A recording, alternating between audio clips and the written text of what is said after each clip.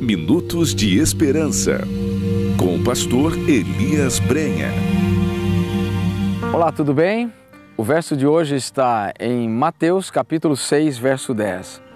Venha o teu reino, faça-se a tua vontade, assim na terra como no céu. Robert Law escreveu: A oração é um instrumento poderoso não para realizar a vontade do homem no céu, mas para realizar a vontade de Deus na terra. A impressão que eu tenho é que é bem mais fácil orar, santificado seja o teu nome e venha o teu reino, do que seja feita a tua vontade. Porém, nunca se esqueça, quando nos submetemos à vontade de Deus hoje, o Senhor passa a se responsabilizar pelo nosso futuro.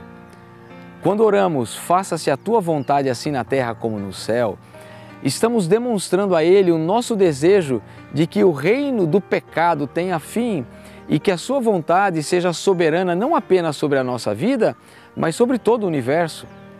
E essa vontade soberana de Deus, segundo o apóstolo Paulo, ela é boa, agradável e perfeita. Romanos 12, verso 2.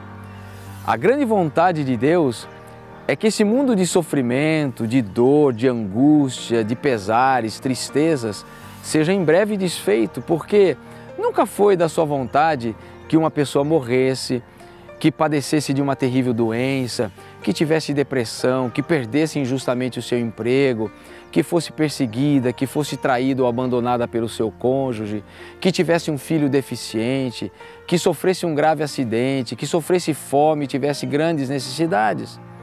A vontade de Deus sempre foi boa, agradável e perfeita. Foi o pecado que trouxe ao mundo todas essas coisas. E como nascemos nesse mundo de pecado, sofremos essas consequências. Porém, muito em breve, tudo isso será restaurado e a vontade soberana de Deus novamente prevalecerá sobre todo o universo. Mas enquanto isso não acontece, não podemos nunca deixar de orar. Faça-se a tua vontade, assim na terra como no céu. Essa oração nos ajuda a vislumbrarmos novas perspectivas, renova nossa esperança e nos dá certeza de que o Senhor está cuidando de cada detalhe da nossa vida. Veja que pensamento extraordinário do livro Caminho a Cristo, páginas 53 e 54. Quando as pessoas saem para trabalhar, quando se entregam à oração, quando se deitam à noite para dormir e quando se levantam pela manhã, quando o rico dá uma festa em sua mansão ou quando o pobre reúne seus filhos em volta de uma mesa escassa, em qualquer situação, o Pai Celestial observa com ternura cada um dos seus filhos. Nenhuma lágrima é derramada sem que Deus saiba. Não há sorriso que Ele não perceba. Se acreditássemos plenamente nisso, todas as ansiedades indevidas desapareceriam.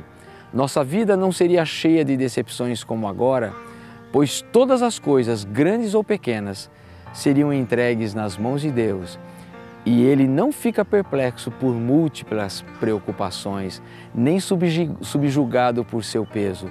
Poderíamos então desfrutar o descanso que muitos de nós já faz muito não encontramos. Que mensagem extraordinária! Você precisa ter uma coisa em sua mente.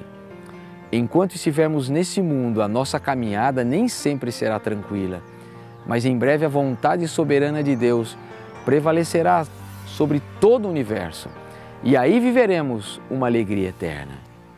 Se hoje você chora, em breve suas lágrimas serão enxugadas. Se hoje você sofre, em breve não haverá mais sofrimentos. Se hoje, pela morte, você se separou de pessoas queridas, em breve a morte não mais existirá. Por isso, a nossa oração tem que ser todos os dias: faça-se a tua vontade, assim na terra como no céu. Que Deus lhe dê hoje força e coragem para mais um dia de lutas e batalhas. Vamos orar? Querido Deus e Pai, obrigado porque a tua vontade é soberana sobre a nossa vida. Às vezes a tua vontade não é aquilo que queremos, mas o Senhor nunca deixará de nos dar aquilo que precisamos e necessitamos. E a nossa oração hoje, Pai, é que a tua vontade prevaleça em nossa vida. que sejamos receptivos à tua vontade e que a tua vontade em nós nos transforme em melhores pessoas, pessoas mais confiantes, pessoas mais amorosas, mais dignas de recebermos a cada dia as tuas bênçãos. Que nesse dia, Pai, seja ele fácil ou difícil, triste ou alegre, que a tua vontade prevaleça em nossa vida. É o que nós te pedimos e te agradecemos. Em nome de Jesus. Amém. Que Deus te abençoe mais este dia. Que a vontade do Senhor seja soberana sobre você. Compartilhe esse vídeo, compartilhe a esperança, é, multiplique amor na vida das pessoas. Inscreva-se em nosso canal no YouTube, Igreja Unas PC, ative o sininho e receba todas as nossas notificações. Que Deus te abençoe, que Deus te guarde e até o nosso próximo encontro, se Deus assim o permitir.